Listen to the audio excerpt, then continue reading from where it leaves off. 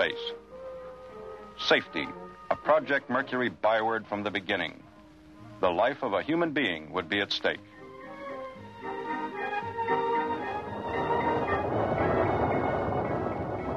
A positive escape mechanism, an escape rocket. Systems to sustain life in space where there is no life. To provide oxygen where there is no oxygen. Pressure where there is no pressure.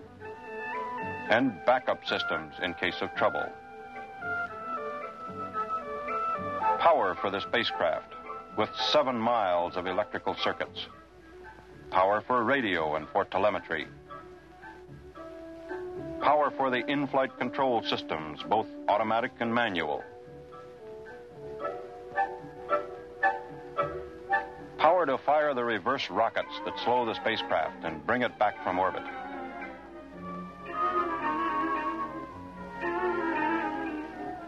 A shield against the blazing heat of reentry friction.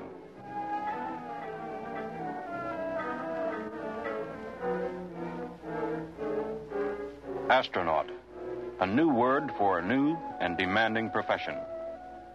Rigorous, intensive training in new and strange devices.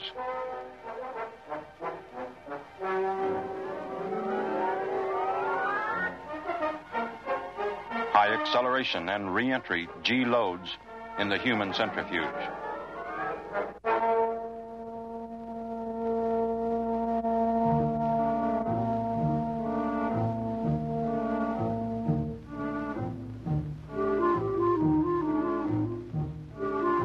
Then, the opposite of G loads no G's at all, or weightlessness. Training and manual control of the spacecraft. Practice roll, pitch, and yaw maneuvers.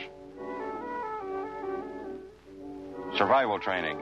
Every conceivable situation, both normal and emergency, was covered. Astronautics, a new science. There were classes for the astronauts in astronomy, meteorology, geophysics, rocketry, astrophysics, celestial navigation, and there was plenty of homework.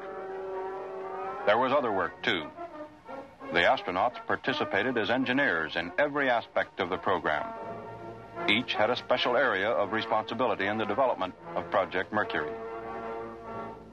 There were dozens of flight tests,